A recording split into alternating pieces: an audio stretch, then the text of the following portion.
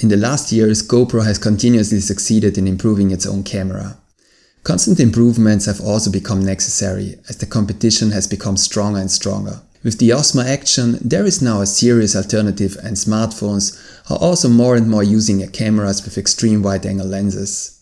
While last year the most significant improvement was seen in the image stabilization, this year the body was redesigned, the stabilization has been improved and the image quality has also been improved. The colors were slightly modified and the maximum bitrate was raised to 100 megabits per second. In this video I will compare the image quality of the new GoPro Hero 8 to the image quality of the Hero 7 Black. I would like to see what changes have been made to the colors and I'm especially interested in the skin tones. I will test the effects of the higher bitrate and whether the new shots show more details, what difference there are in the dynamic range and how the new camera performs in low light. Please keep in mind that the footage of the GoPro suffers a lot from the YouTube compression. For optimal results, you should activate the maximum resolution in the YouTube settings. For current prices and offers for the Hero 8, I put some links in the video description. My name is Werner, I live in the Italian Alps and this channel is about filmmaking tutorials, GoPro and other consumer cameras. If you're interested in these topics, consider subscribing and have fun with this video. I have made a large number of comparison shots in the last few days. Today I show you only a selection of them also because the results were always the same. In these first shots you can see that the colors of the two cameras are very similar. However, the image of the Hero 8 is clearly more saturated and richer in contrast than the image of the Hero 7. Overall, I like the colors of the new GoPro actually very much.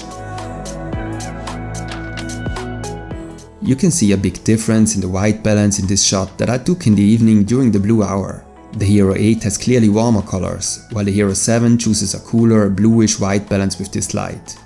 We will come to a comparison of the image noise later. Here you can see the comparison with a flat color profile.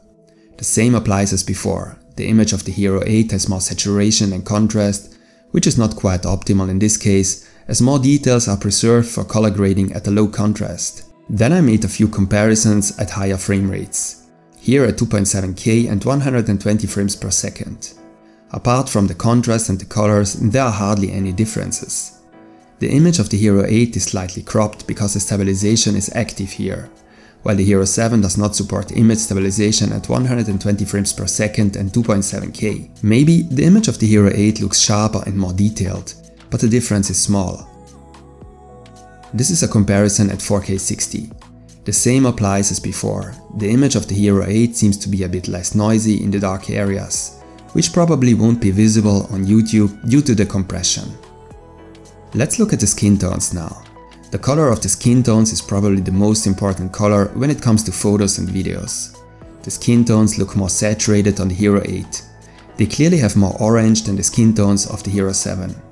It depends on the personal taste whether this is better or not.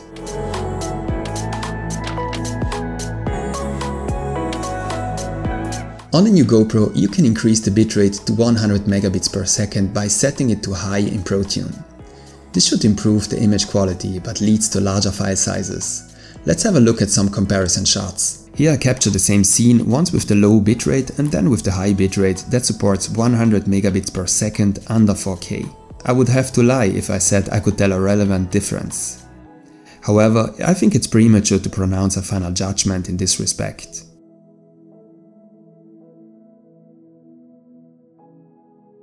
Dynamic range is about how well a camera can handle situations where there are both bright and dark areas in the same image.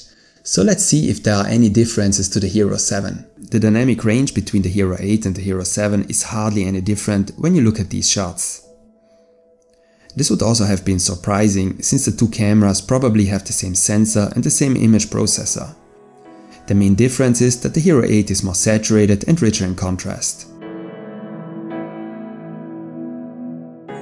With this shot you can see that the Hero 8 exposes a bit darker. As a result, details are lost in the dark part of the image but more details remain in the clouds. That means in the very bright area. Finally, let's take a look at how the camera behaves in low light conditions, that is, whether it produces less noise than the Hero 7 at high ISO values.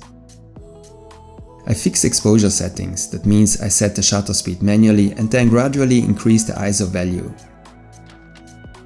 As already mentioned, the Hero 8 opts for a different white balance.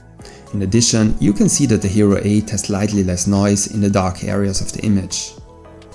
The differences are small but still visible, so there's been some progress here.